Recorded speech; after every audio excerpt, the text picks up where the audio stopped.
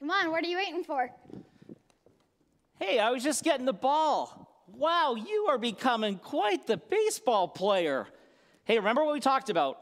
Remember when you grab the ball, you give it a good grip, okay? All right, we're gonna try it. Here we go. Awesome. All right. Next time, remember when we throw the ball, put your arm back. Okay, we're gonna try that again. All right, here we go.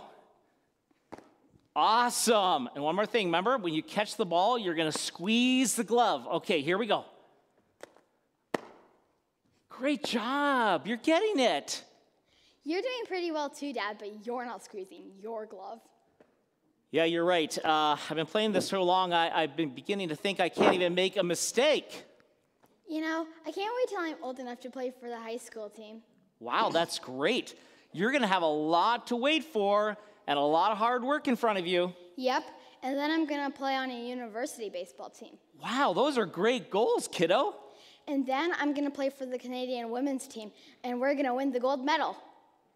Whoa, you got a lot of hard work ahead of you. I mean, but you're going to have to be patient for it.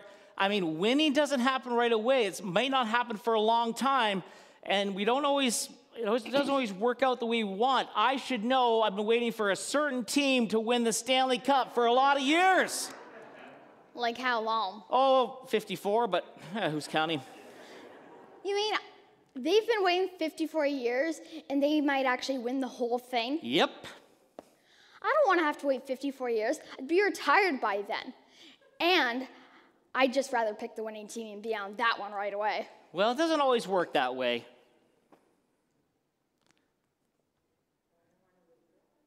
But I don't want to have to wait forever. Just waiting around, that'd be a waste.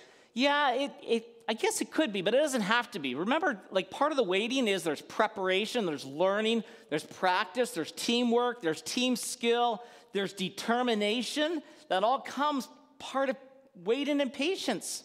I'm determined, and I'm pretty good, but I don't want to have to wait so long. It'd be too hard. Yeah, okay, let me try to explain it this way. You know how we wait for Christmas all of December?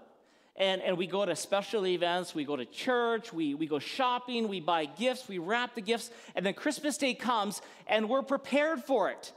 But imagine waiting for Christmas starting December 1st, and then it comes December 2nd. We're not prepared for it. And we get to miss out on all the things that comes with the waiting, like the excitement and the anticipation. You know what I mean? Yeah, okay. If I gotta, I gotta.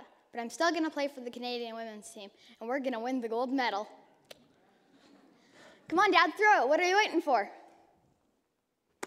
Awesome.